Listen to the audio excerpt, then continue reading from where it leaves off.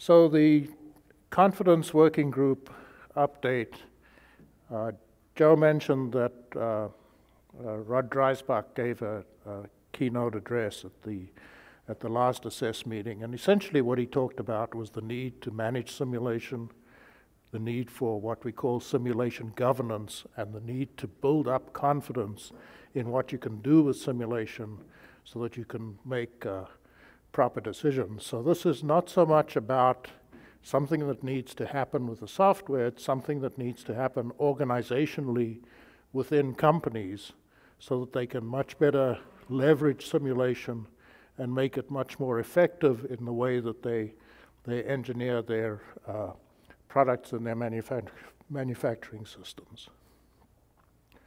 So what the, the working group came up with is that you need to, if you're going to talk to upper management about this stuff, you have to couch it in terms of, of costs and ROI and the real benefit uh, to, to using simulation to do engineering. And some of the scope here that we have includes verification and validation, and that brings in organizations like NAFEMS.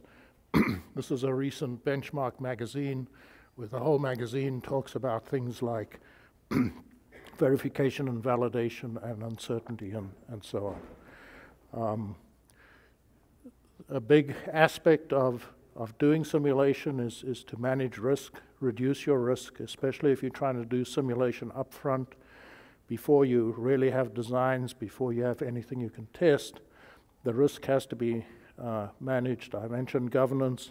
And then there's, there's this thing that Mary Fortier at GM calls the unsexy stuff, which is the basic management. Things like can you go to a simulation that you did two years ago and know which version of the software was used?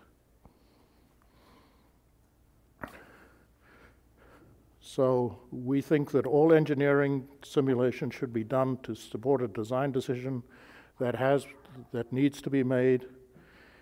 Uh, or, or will be made or has been made.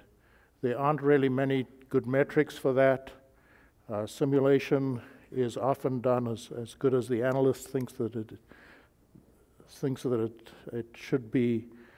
And um, the, the issue here is that you need to get a lot more discipline around the way you do the simulation, put into place the simulation governance, and uh, manage simulation as a strategic capability for the corporation.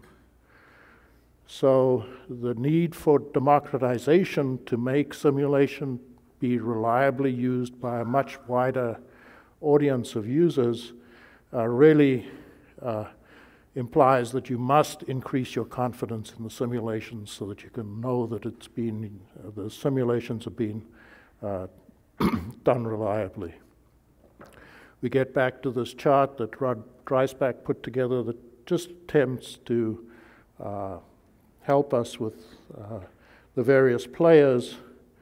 Uh, let's start with CIMdata where I'm from. We generally talk to upper level managers and executives about short term, say three year, five year kinds of issues. I think that Assess uh, talks to, uh, addresses a similar audience, but but in the longer term, and NAFEMS is very much uh, more directed at the users themselves and, and perhaps in the shorter term. So the next steps that we have is to give tools for people to communicate to engineering management within uh, end user companies uh, what the message should be about simulation. How do you get simulation to be better understood throughout the company, not just uh, by, by the, the expert users, and um, how to uh, then, um, as part of that communication, develop an engineering simulation risk management model that will allow people to, to better understand uh, the costs, the ROI, and, and the risks that are involved and how you can manage those.